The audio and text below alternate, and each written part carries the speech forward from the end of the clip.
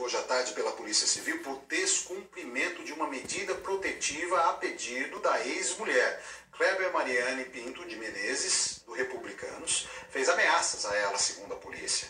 Ele foi encaminhado para a cadeia da cidade. Nós não conseguimos falar com o advogado do vereador e a direção da Câmara de Pereira Barreto respondeu que os motivos que levaram à detenção do vereador são pessoais e não estão relacionados com a atuação dele no legislativo. Mostrar agora